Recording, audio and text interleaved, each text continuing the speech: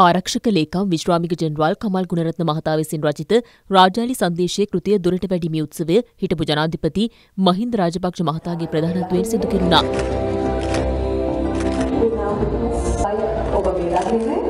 ඒ මහතා රචනා කළ දසවැනි කෘතිය වන මෙහි සිව්පද කවි දෙදහස් පන්සිය හැත්තෑ නවයක් සහ අතින් අඳින් ලද චිත්‍ර දෙසියකට අධික සංඛ්‍යාවක් ඇතුළත් මහාචාර්ය පූජ්‍ය ඉඳුරාගාරයේ දම්රතන ස්වාමින් වහන්සේ සහ මහාචාර්ය ප්‍රනීත් අබේසුන්දර මහතා මෙහිදී දේශන සිදු කළා. පන්නිපිටිය ක්‍රිස්තුරාජ විද්‍යාලයේ දෙදහස් විසිතුන වාර්ෂික ත්‍යාග ප්‍රධානෝත්සවය මහරගම යොවුන් නිකේතනයේදී පැවැත්වුණා.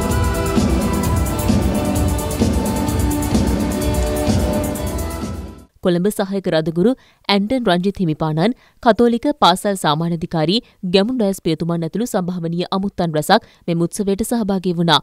අධ්‍යාපන විශිෂ්ටතා මෙන්ම ක්‍රීඩා භාෂා නැටුම් ගැයුම් ආදී අංශවලින් දක්ෂතා දැක් වූ ශිෂ්‍ය ශිෂ්‍යාවන්ට මෙහිදී ත්‍යාග සහ සහතික පිරිනැමුණා.